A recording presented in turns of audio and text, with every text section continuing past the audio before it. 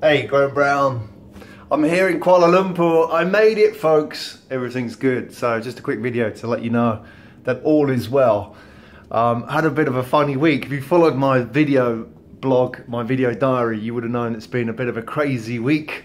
Um, lots of twists and turns and unplanned events during the week, but that's what it's all part of. And I can't blame anybody apart from myself. I think that's really important is that when all this shit happens, and shit does happen when you travel, you've got to look at yourself and say, well, I put myself in this situation. If you start blaming other people for what they did or didn't do, um, you know, then you end up just being more stressed because you make yourself into a victim of the situation rather than somebody who put themselves in the situation. And I put myself in the situation, you know, I wanted to come here to Kuala Lumpur and I'm here and I've got some really good meetings lined up, looking forward to those.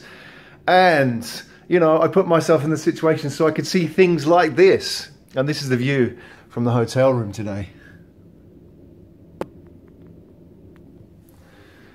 So, how about that? Not bad, huh? So it's all good. Graham Brown, Kuala Lumpur, heading to Singapore next week. Thank you so much for following my video blog. I shall see you soon.